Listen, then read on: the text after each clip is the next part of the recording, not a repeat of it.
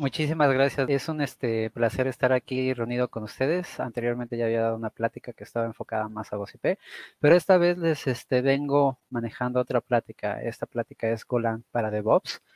Dentro de lo que pues, yo me he dedicado de lo que es GOSIP y sysadmin, pues en parte este, he tenido la necesidad no solamente de estar este, con los fierros, sino también con el código. Y pues la tendencia en la industria es de que debemos que también este, hacer este, la infraestructura como código. Y pues más que nada por eso es esta charla, que tanto ha sido mi experiencia con Golang y tratar de evangelizar, convencer a varias personas de que siguen utilizando otros lenguajes de programación, que le den una oportunidad a Golang, que creo que va a ser este, algo que les pueda ayudar, algo que creo que este, les va a dar muchas herramientas, les va a este, potencializar mucho en su trabajo y pues este, esperemos que la plática sea de su agrado.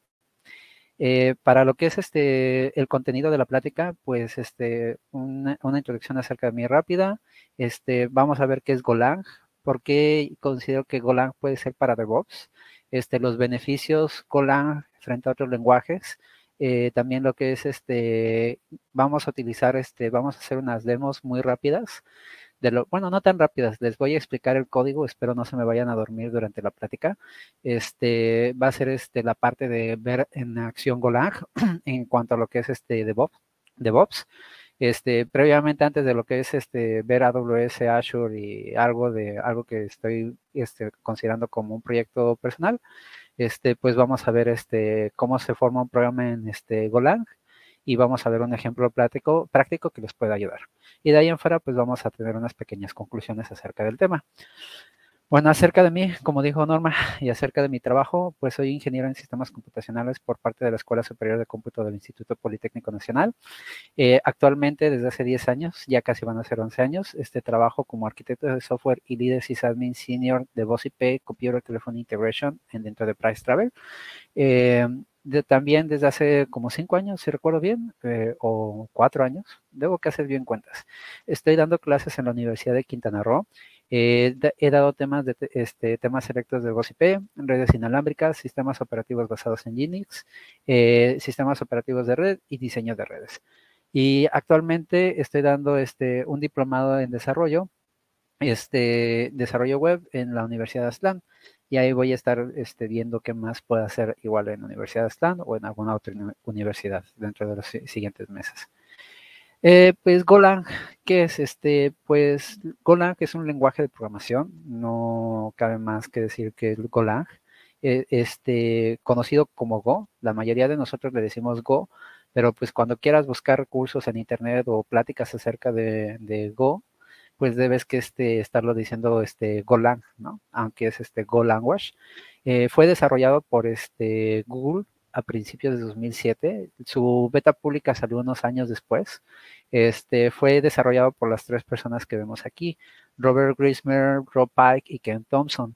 Ellos este, empezaron a tratar de hacer un lenguaje que fuera muy orientado a lo que es a la nube, diseñado principalmente hacia la nube, que fuera muy sencillo de utilizar, que fuera algo que se pudiera compilar y que pudiéramos utilizar este, de una forma más eficiente, el escribir código sea de una forma más rápida, más eficiente, más intuitiva, que no debas que tener este problemas de estar este preocupándote de qué tan complejo es tu código por este por, por el simplemente hecho de estar haciendo más sencillo lo que es el este la programación, bueno, el lenguaje de programación simplificando el lenguaje de programación es como vas a lograr este, tener un mejor código, más eficiente, más este, digerible cuando lo estés manteniendo. Y pues es la parte que, este, nosotros, los que estábamos escribiendo cosas en Golang, pues estamos, acostumbrados a. Yo hace mucho tiempo en el trabajo, pues para automatizar cosas utilizaba Bash este, llegué a utilizar un buen rato Python. De hecho, seguimos utilizando Python en algunas cosas, eh, pero ya lo he ido reemplazando mucho por Golang. Y pues es lo que vamos a ver. ¿Por qué, por qué yo tomé ese camino oscuro de la fuerza, no? Este, ¿por qué irnos a DevOps? Eh, en una búsqueda rápida, este, que podemos estar, este, de hecho, si ustedes la quieren hacer en Google, yo la acabo de hacer unos días, este, pues Google te dice que dentro de los este, 10 lenguajes este, más populares que se ven ahí, este Golang es uno de los lenguajes que está teniendo más crecimiento y más auge. Es una comunidad que este, estamos creciendo, que mucha gente estamos tratando de contribuir, que mucha gente estamos tratando de agarrar y este, estar este, evangelizando el uso de Go este, dentro de nuestro propio lugar de trabajo con conocidos y compañeros. Este, la verdad es algo que realmente este, a mí me ayuda mucho del área, del lado de la infraestructura. Cuando estás del lado de la infraestructura, mucha gente eventualmente deja de programar, deja de tirar línea de código, pero pues cuando estás acostumbrado a tirar línea de código y estar resolviendo problemas, ves que puedes automatizar muchas cosas. Y pues Golang me ha ayudado para eso. Este, eventualmente cosas que hacía en Bash o que luego se me complicaban en Bash, un ejemplo muy claro, la otra vez tenía que dentro de Asterisk agarrar y este, devolverle a Asterisk este, un dato de, una, de, una, este, de un request HTTP que se me devolvía en un payload JSON. Este, eh, pues con Bash dije, ay, ¿cómo agarro? Y empecé a decir, bueno, empiezo a agarrar y a, este, a dividir las cadenas. Y de repente dije, no, eso es muy complejo. No, empiezo a hacer esto, empiezo a hacer otro. Y tuve que agarrar otra herramienta que es este, un binario que se llama GQ que me parecía el, este, el, lo que yo quería de el JSON y me lo entregaba en una variable dentro del bash. Entonces decía, pues eventualmente estoy haciendo lo que necesito, pero no necesariamente lo que yo quiero simplificar dentro de algo de programación, porque en vez de estar este, utilizando un solo un, este, un código para ejecutarse, estoy utilizando un código, un binario externo y estoy utilizando varias otras cosas más para devolver al otro programa este, una variable en específico, ¿no?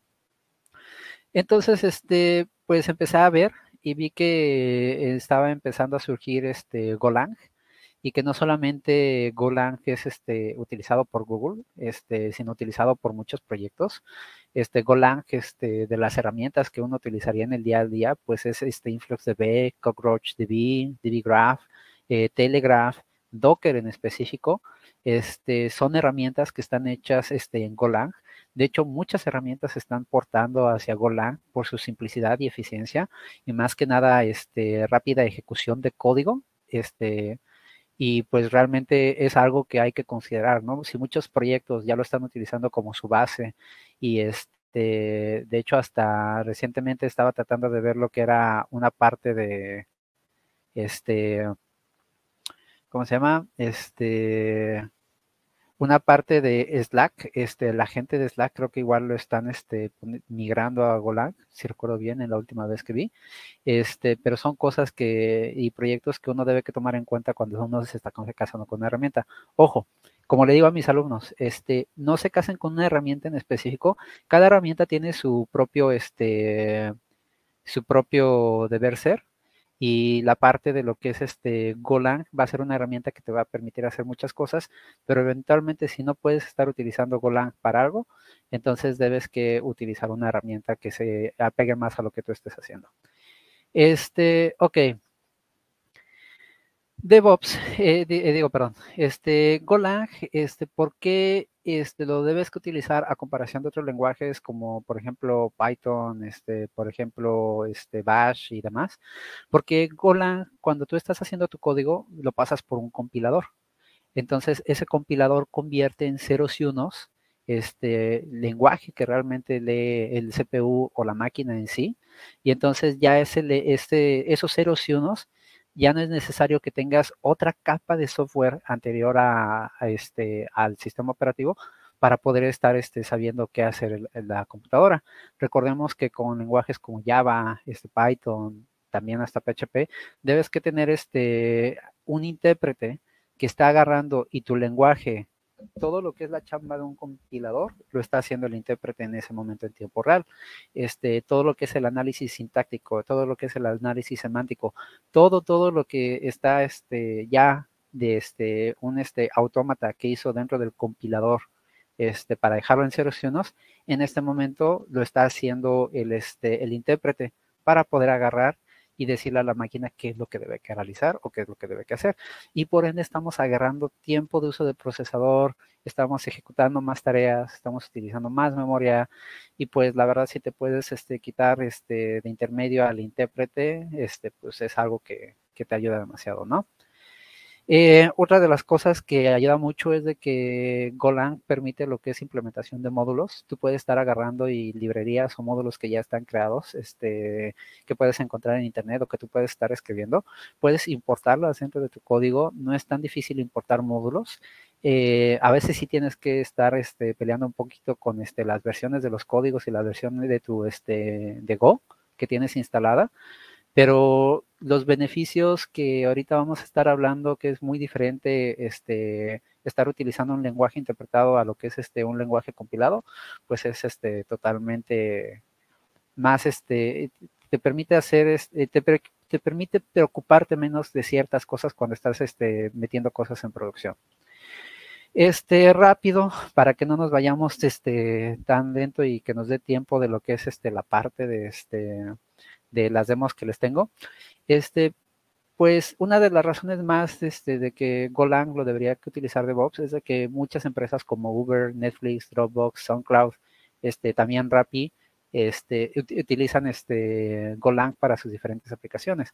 Lo utilizan como APIs, lo utilizan como workers, eh, también lo utilizan en estas cinco este, categorías que lo tenemos aquí, desde sistemas distribuidos, este, lo que permite Golang con su este, administración de concurrencia hace que esto sea perfectísimo para lo que es la comunicación de datos a través de procesos este, en redes te permite generar código que te ayuda a administrar, configurar dispositivos que tienes ya dentro de tu infraestructura. Este, de lo que es este, aplicaciones web, como soportan nativamente el protocolo HTTP, de hecho fue diseñado para eso. Puedes crear APIs, APIs este, bastante complejas y bastante robustas que te soportan un nivel de concurrencia de usuarios este, muy bueno. Este, puedes crear microservicios debido a que pues, ya es algo compilado este, y aparte de que su eficiencia de ejecución de código dentro del tiempo del procesador es este, muy buena, pues puedes este, estar creando o implementando microservicios con Golang. Y, este, y la parte de DevOps, pues este, al igual que redes o lo que sería infraestructura, puedes controlar y configurar de una forma más este, rápida, eficiente, más este, precisa y más que nada rápida este, la infraestructura que tengas este, on cloud o on premise. Y más que nada, te da una habilidad más allá de las herramientas existentes que tengas, porque por ejemplo dices, bueno, es que pues tengo la consola de AWS, ¿no? Para poder estar deployando una máquina virtual. Mm, tengo la máquina, este, tengo una, este, tengo otras herramientas para estar pudiendo jalar código y deployando, ¿no? Mm, ¿Qué diferencia va a hacerme Golang? Pues Golang te va a permitir hacer cosas que a veces estas herramientas no te den. Este, me gusta seguir en, este, en YouTube este, a un ex ingeniero de la NASA que se llama Mark Rober. Y Mark Rober lo dice muy bien. Nosotros como ingenieros tenemos la necesidad de utilizar herramientas. Cuando nosotros este, tenemos una herramienta que no se adapta a lo que necesitamos, pues primero vemos este, si se puede adaptar a lo que necesitamos. Si nosotros vemos que no se adapta de N o mil maneras que nosotros queramos adaptarla, pues agarramos y tenemos la capacidad como ingenieros este, de poder crear una propia herramienta o adaptar esa misma herramienta que tenemos. Lo que me gusta de poder estar tirando de línea de código y no estar utilizando herramientas de otras personas es de que si yo necesito almacenar algo en base de datos, si necesito hacer una copia de algo, si necesito estar parseando algo, si necesito estar este, encolando todas las peticiones dentro de un Redis, si necesito estar agarrando y estar haciendo este, peticiones este, HTTP APIs que necesito para poder estar creando una máquina virtual o estar este, deployando algo en producción, pues este, con la parte de yo saber Golang, puedo ir implementando eso en código. Y implementando eso en código a través de las diferentes este, módulos o SDKs que me provea este, proveedores como AWS, este, Azure, este, Proxmox y demás, puedo agarrar y estar yo este, trabajando más a gusto y puedo tener un mejor control de lo que estoy realizando. Y no tengo que estar este, al final del día pagando licencias. Si de por sí ya me estoy ganando, gastando un montón de dinero en la nube, pues estar pagando licencias para estar utilizando otras herramientas o otras herramientas que son open source no se adapten a ti, pues entonces si tienes el conocimiento y eres ingeniero, pues este, puedes agarrar y poderte poner a realizar cosas que se adapten a ti. Ok, dentro de los beneficios, para terminar ya esto y que no nos tardemos más porque ya solamente nos quedan 15 minutos, es este, la concurrencia que hay dentro de lo que es de, dentro de la arquitectura de Golang. Este, permite que tú puedas ejecutar varias partes del código este, al mismo tiempo y que se puedan comunicar entre sí. La verdad, la forma en que está implementada la concurrencia en Golang es algo que ayuda mucho en lo que es la parte de comunicación de procesos y este, hace que sea más eficiente el, este, el programa. Es open source, este, puedes estar contribuyendo, contribuyendo con el proyecto, puedes estar haciendo cosas y si lo utilizas no tienes que pagar regalías.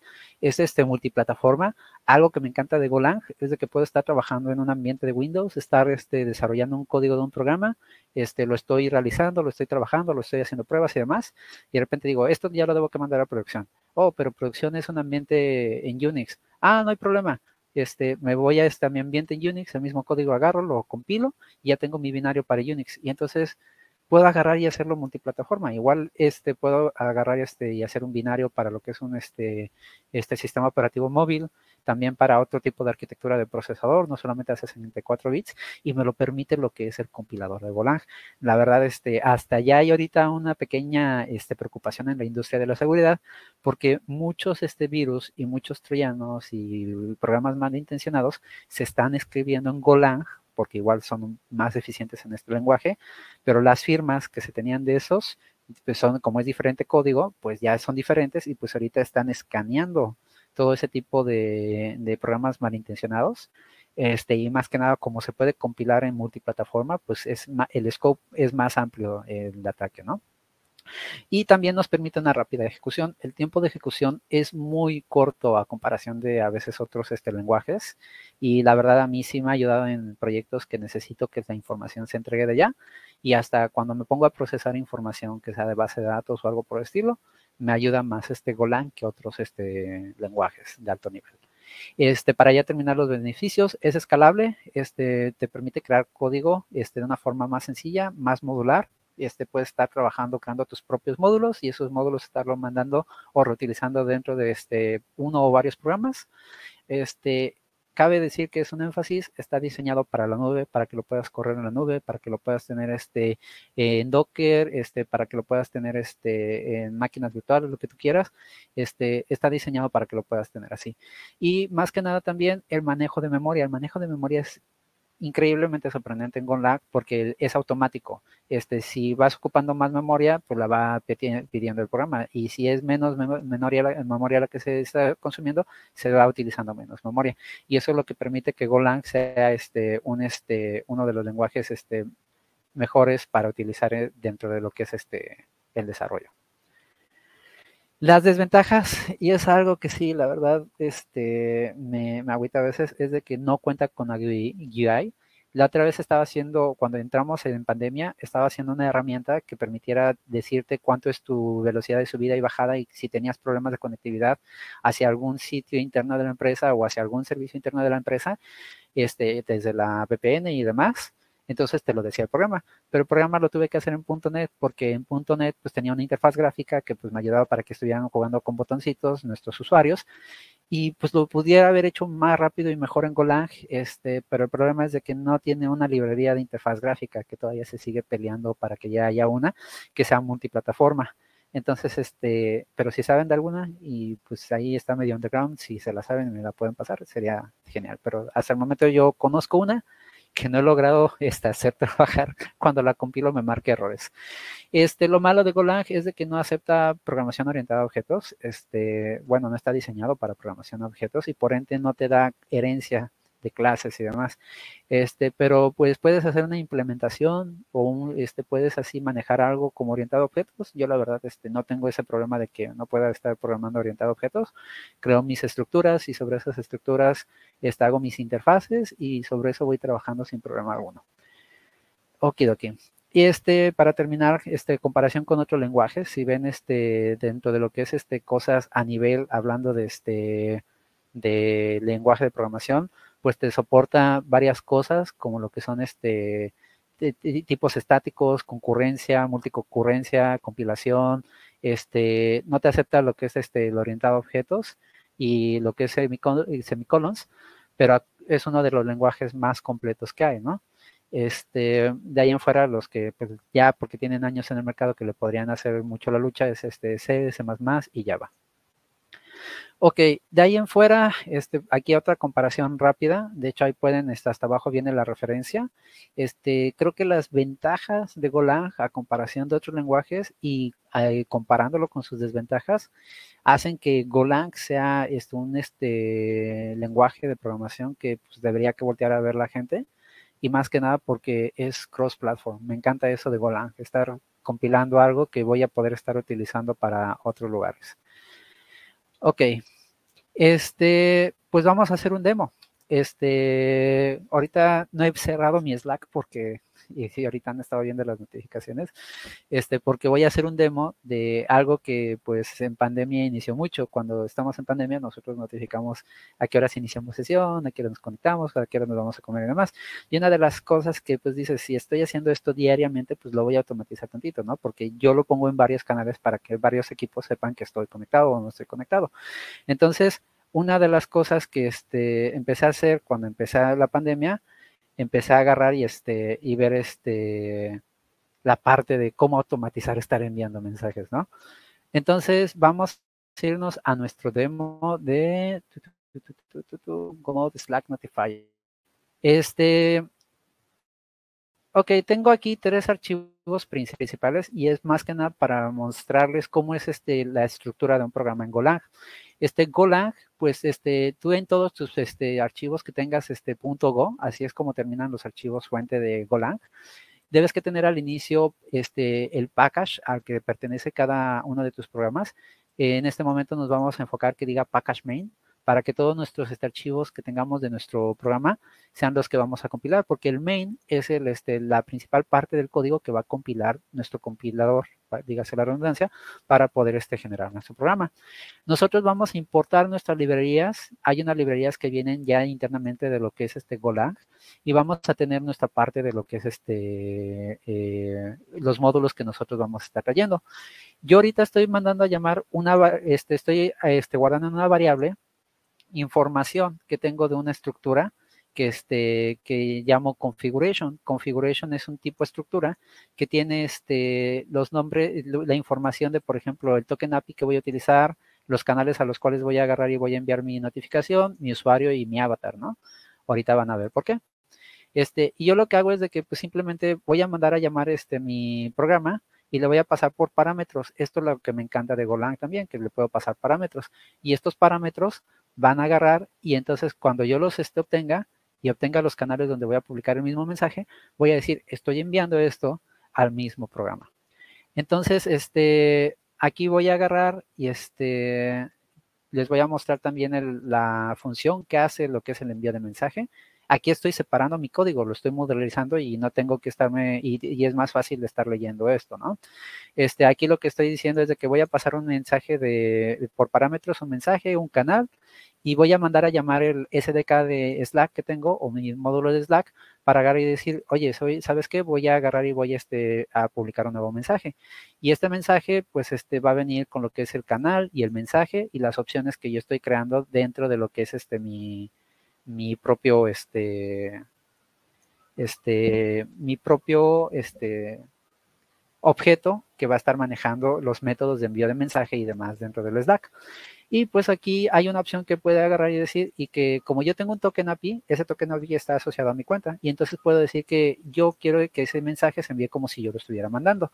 Porque antes lo que estaba haciendo era poner el usuario que yo estaba utilizando y también la imagen que yo estaba utilizando para poder decir, ah, este soy yo. Pero luego encontré que tenía esta posibilidad de hacerlo así y pues mejor sencillo. Algo que también este, pude hacer fue una función donde puedo enviar un mensaje con un este, archivo adjunto y ese archivo adjunto pues lo puedo mandar a varios canales. Por ejemplo, puedo estar enviando reportes o puedo estar enviando este, imágenes, puedo estar enviando cualquier tipo de archivo y lo puedo estar enviando en canales. Algo que eh, me, me, gustaría ver es de que, por ejemplo, cuando haga una notificación en Slack después de un deploy en producción, pues que te agarre y te adjunte el este, archivo adjunto de todo lo que fue el procesamiento, ¿no? Y ya lo puedes ver directamente ahí en el Slack y no te tengas que ir al sitio a ver cómo fue el detalle de la compilación y el deployamiento, ¿no? Entonces, este, para compilar un programa en Golang, tú le vas a poner go build este, este archivo de GoBuild va a tener este, va a ser referencia de un este archivo que debes que tener que se llama GoMode. Este archivo lo puedes este, este, eh, inicializar con simplemente go, este, go init. Eh, go te va a crear el archivo y con go este, build vas a este, crear tu ejecutable. El Go Mode te va a tener todas las librerías y las versiones que tienes de tus librerías para que cuando estés este, publicando este este tu programa como un módulo, este, las dependencias que tenga tu programa, pues se este, instalen este, en, automáticamente cuando alguien lo esté compilando aparte. Ok, le voy a dar Go Build solamente por este, puros efectos prácticos. Aquí en Go Build lo que está haciendo es generando el código este, ahorita se está tardando algo porque mi máquina está literal, este, algo lenta por todo lo que estoy este, mostrando y demás. Y aquí vamos a hacer el Slack Notifier. Aquí lo que está haciendo es de que está diciendo voy a enviar hola mundo al canal C0 este, demás. Y si nos vamos aquí a las 15.56 se envió este, el mensaje de hola mundo. Y por ejemplo, vamos a cambiarlo, vamos a decirle hola hello SG Virtual. Entonces ahí ya vamos a enviar SG Virtual y listo, aquí tenemos SG Virtual. Nos vamos a apurar tantito porque ya viene la parte de que este, ya mero viene preguntas y respuestas para que podamos hacer todo esto. Ok, entonces con esto ya vimos este, un este, demo de con Slack. Ahora vamos a ver un demo de AWS. Vamos a lanzar una instancia S2 y vamos a manipular un bucket S3. ¿Eso cómo lo vamos a hacer? Vámonos primero a este demo de instancia S2. Si ven, yo estoy agarrando la configuración igual de acá. Este, la configuración, para que esto trabaje deben que agarrar e instalar el AWS SLI y con el AWS SLI se, topean su cuenta, sus access, su token key y su access este ID para que puedan agarrar y el programa en Golang pueda estar agarrando y estar este, leyendo esas este, credenciales y ustedes puedan hacer este, lo que quieran con su código. Aquí lo que vamos a hacer es vamos a este, crear una este, máquina, este, una S2, un Elastic Container, este, para que lo esté este, generando en este, nuestra cuenta de AWS. Esta función que se llama create S2 pues utiliza todo lo que es estos, este, esta parte del SDK de Golang para este, AWS. Este, la función pues este, nos permite definir la región que vamos a tener, este, nos permite agarrar la configuración que queramos y nos permite agarrar y este, decir, este, crear una llave si es que no tenemos crear una llave que la cree para que nosotros podamos acceder este, luego a las máquinas. Este, si no es, si está, pues la bajamos, si no, pues la creamos. Este, también nosotros vamos a definir qué tipo de imagen vamos a tener, qué tipo de virtualización vamos a tener. Eso lo vamos a ver dentro de lo que es este nuestro archivo de configuración.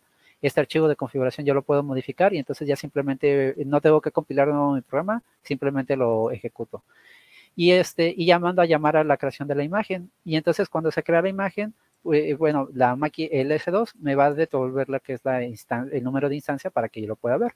Entonces, pues le voy a, este, voy a ejecutarlo. Y entonces, ahorita va a agarrar y en teoría ya me creó mi instancia con ID 02 y nos podemos ir a mi navegador y en la parte de manejo de instancias S2, ah, solo que mi navegador se... Le voy a dar a actualizar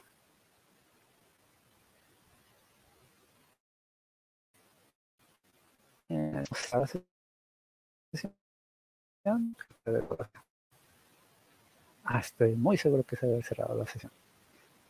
Eh, Debo que irme más rápido. ah, no. Cerró. Ok. Demos un momento para que me muestre las instancias que tengo cada. Esta está extremadamente lenta en mi máquina. Si ven aquí ya está corriendo la instancia. ¿Y cómo puedo si fue la instancia que mandan? Si ven ahí dice instancia 272 y pues si vemos la hora en que se creó la instancia, si mi navegador contestara, fue a las 15.58 GMT. Bueno, hora de Cancún. Para ustedes son las 2.58. Voy a terminar esta instancia para que mi tarjeta de crédito donde tengo dado de alta esto no esté este, no, no, no me vaya a cobrar más de lo que tengo. Este instance state, le voy a dar terminate instance, pues no me voy a tocar de esto.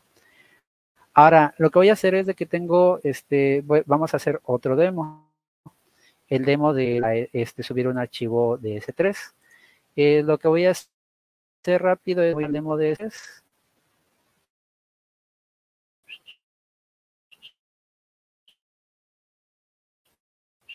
Al bucket que se va a crear.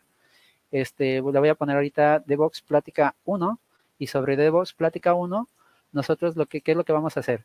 Vamos a crear un objeto de S3 para que nosotros podamos agarrar y ver lo que es la parte de este, manejar nuestros, este, nuestros métodos que nos está permitiendo el SDK para inicializar el S3.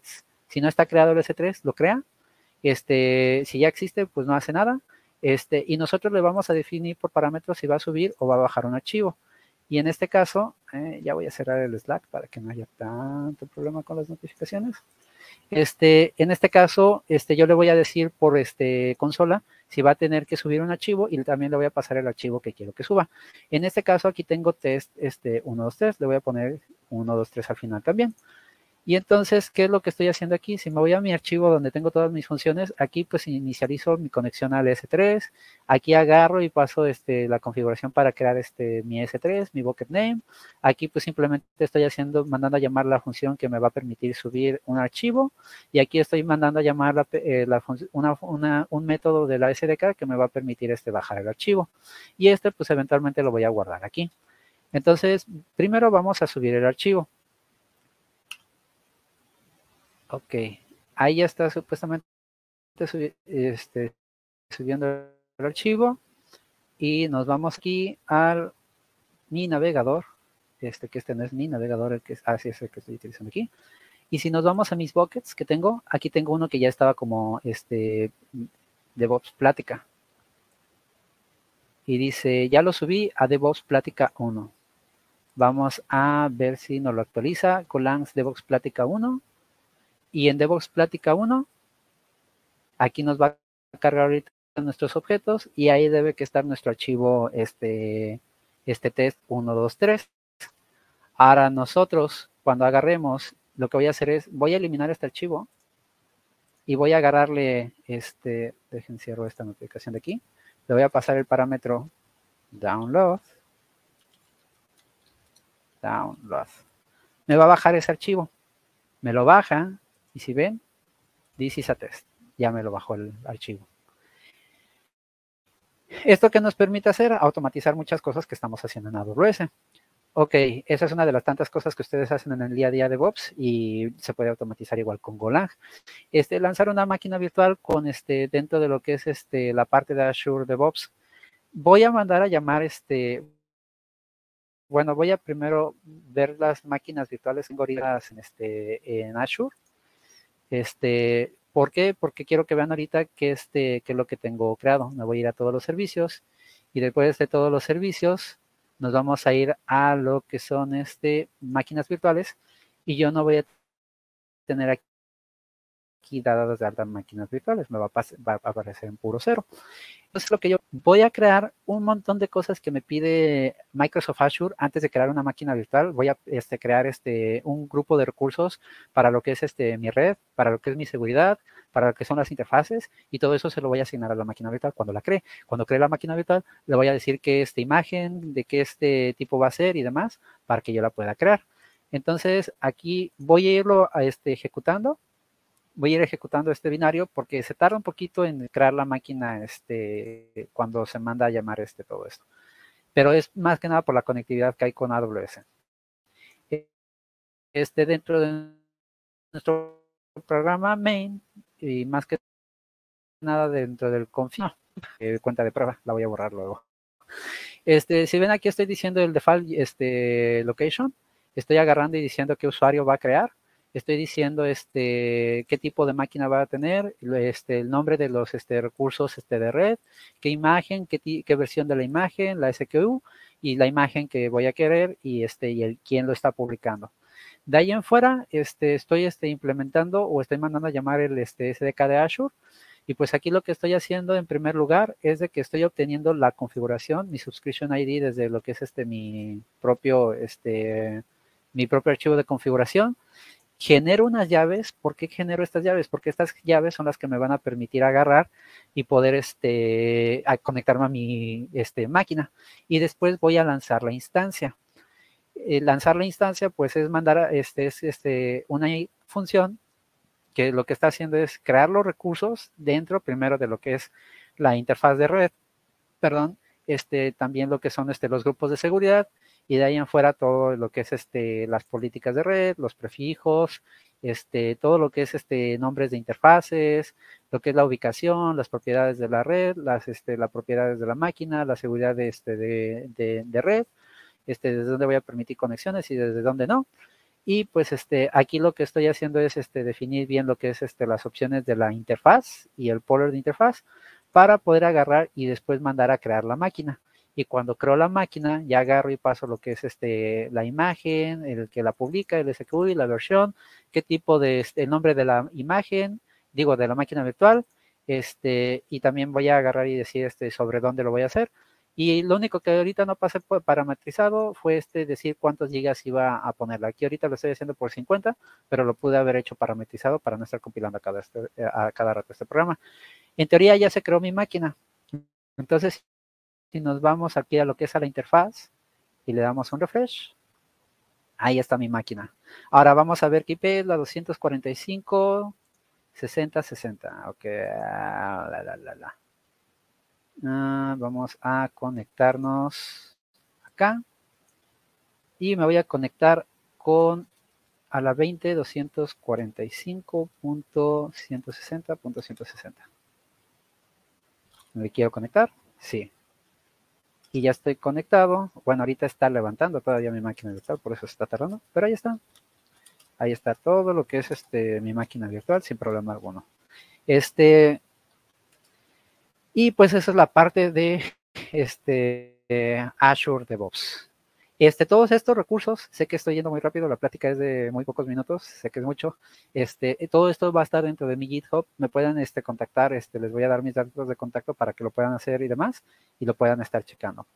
Este, algo que ahorita no creo poder presentar por cuestiones de tiempo, este, y de la parte de, este, de algo, un proyecto que estoy haciendo yo personal, es Mandoffer.